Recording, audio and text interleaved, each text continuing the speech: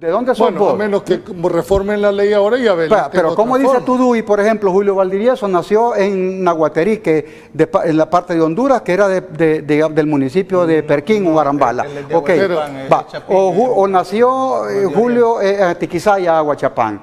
Pero él tiene su residencia en San Salvador, ¿verdad? Y pero de repente Julio Valdivieso se fue para Estados Unidos y allá vive y va a votar. Entonces, ¿en qué municipio vas a votar? A Tiquizaya, San Salvador, estando allá. Bueno.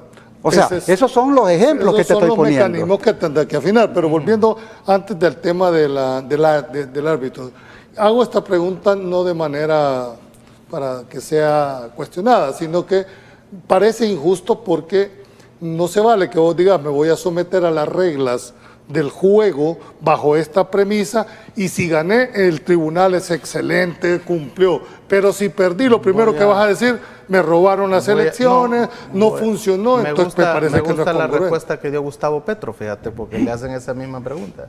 Y me parece que es la respuesta adecuada y la voy a usar. Es que si los resultados son transparentes y nos queda claro, no hay ninguna duda de que has perdido la elección o la has ganado, ¿Y no hay quién va a definir problema. la transparencia? Ah, es que eso se ve en el proceso, eso se ve en el proceso. Exactamente. Por ejemplo, mira, eh, eh, no hace falta poner casos eh, cuando la votación es presencial porque ya, ya la conocemos. O sea, vigilantes, el día en las urnas se abren las papeletas y se ve, ahí se ve. Va, ok. En el caso del voto electrónico, van a haber denuncias de la gente cuando vaya comenzando a ver, eh, digamos, eh, las anomalías en ese proceso.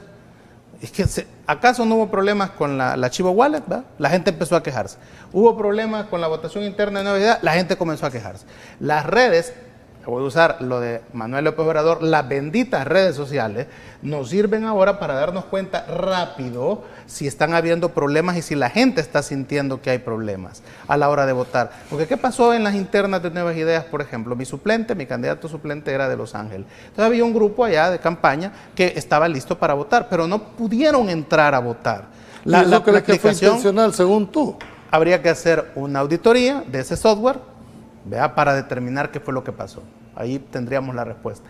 Lo que sucede, vuelvo a insistir, que en esta oportunidad van a haber vigilantes de los partidos políticos, los- o sea, tenés tanta gente compitiendo que a todo el mundo le va a gustar que las cosas estén transparentes y le conviene, y vuelvo a insistir, esto le conviene a nuevas ideas. Va, el no asunto, solo Julio, no solo eso, tras- no Marvin. solo eso, el hay asunto toda una no es comunidad Sí, internacional. es correcto, pero el O sea, asunto no ¿por es tanto el el asunto no es tanto así, Mar- eh, Marvin y Julio. El asunto es que la ley apenas ha entrado y está en discusión y los diputados de Nuevas Ideas andan en Estados Unidos diciendo así se va a votar. Ni siquiera se ha aprobado la ley y ya andan diciendo así se va a votar. Pueden votar con el teléfono, pueden votar con una computadora, con una tablet o pueden ir a... O sea, ya andan diciendo. Y si no se aprueba de esa manera, por ejemplo, significa que las cosas están cocinadísimas. Entonces, tú vistes ahora con los magistrados del tribunal, algunos hicieron sus, sus, digamos, sus planteamientos serios, concretos, y concuerdo con el magistrado Wellman que dice, estamos atrasados. Es decir, ¿Cuánto significa poner en función un software? Imagínate, Marvin. Marvin fue objeto también de fraude en las internas de Nuevas Ideas. Y también Romeo lo dijo, Romeo Auerbach lo dijo. Pero también este muchacho, Marcelo Larín, ¿verdad? Que participó en Nuevas Ideas y después fue candidato con ganas. A mí me cae bien ese muchacho porque tiene una manera bien jocosa de, de tener su programa. Denunció también ese tipo de situaciones. ¿Por qué lo digo? Porque el tribunal tampoco fue ajeno, porque las internas de los partidos están paradas en la ley de partidos políticos y por supuesto que los resultados tienen que ser avalados por el Tribunal Supremo Pero si Electoral. tú no activas los mecanismos de fiscalización, fuiste Es tú que, y es lo, que y lo- y lo precisamente, presentaste. Marvin, No, no, porque Va, entonces Marvin, no puedes una decir que hubo una, una pregunta. es que yo acepté el resultado electoral. Ah, Bueno, Yo lo acepté. pues claro. Hubo gente que no lo aceptó.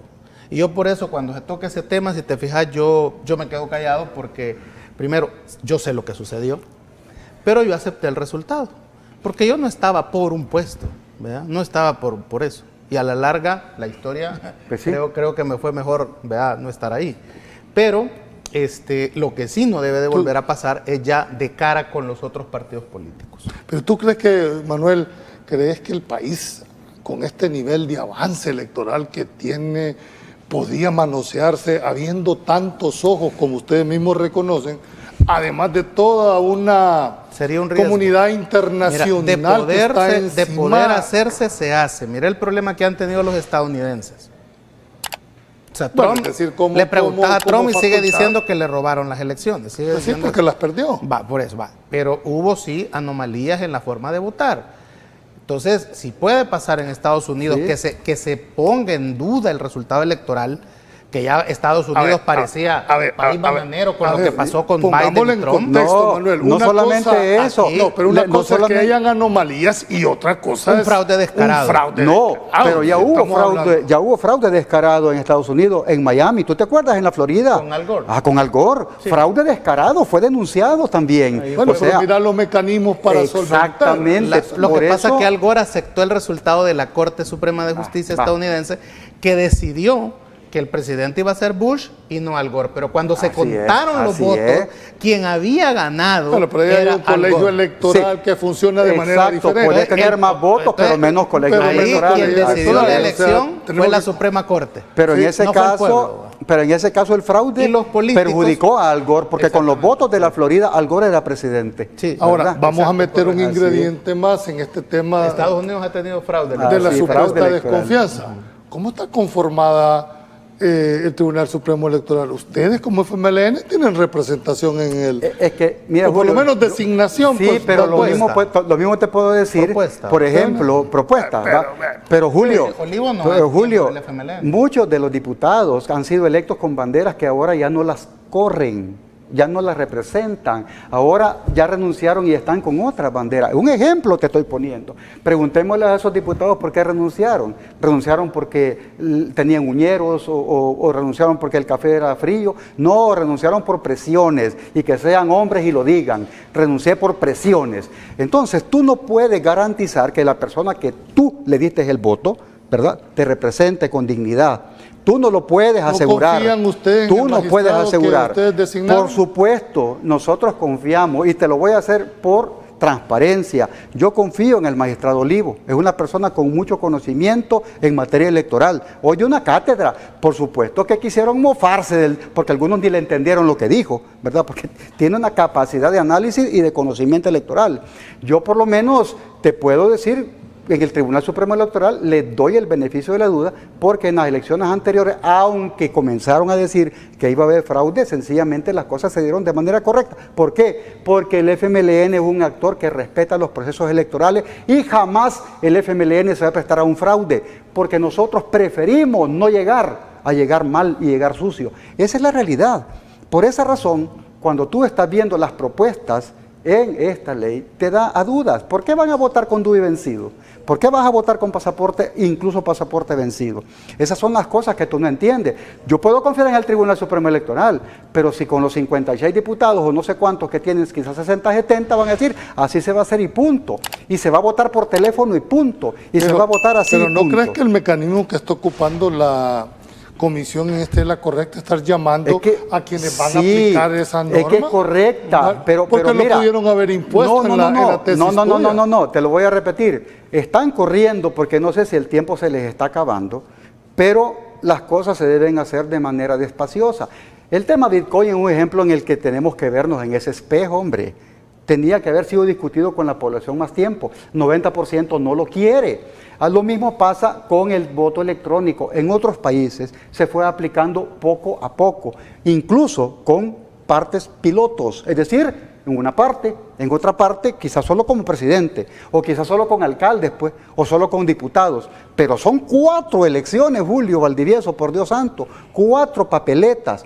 Y no es que vas a votar por un diputado. En San Salvador son 24 posibilidades. Bueno, que tú hemos tienes. tenido Pero en una este- sábana de 200 Vaya, pero de repente viene Marvin Aguilar y, y dice, voy a votar, pero yo no puedo manejar esto. Manuel, pero hay una... Pues no, en- termino. en- en Yo no puedo manejar diciendo. esto. Ah, entra señora, espérame. O va a ir a- entra señora, fíjese que ¿No usted va a crees ir que a eso votar. es subestimar No, demasiado al electorado? no, no, no, de ninguna Porque manera. La gente ahora Julio, maneja mejor. Hay gente que pide asistencia, incluso votando en la papeleta, Julio. pero, pero son Ah, las excepciones, pasa. no son las No reglas. te estoy diciendo que es la, Pero- la pero- regla general, pero, Pero, sí Manuel, existe hay- hay- eso. Yo encuentro una, una falencia en tu argumento y creo que lo que hay que hacer en este ¿Cuál es la falacia que encontrás? en Falencia. falencia? Ah, Es, es en el sentido de que lo que tú estás diciendo es una posibilidad que va a suceder. Pero hay que darle a la gente la oportunidad de votar desde el exterior. Es una promesa que está pendiente, tienen ese derecho. Ellos mandan como 7 mil millones de dólares al país. Solo el hecho de ser salvadoreño tiene derecho a votar. ¡Ay, pero qué idiota!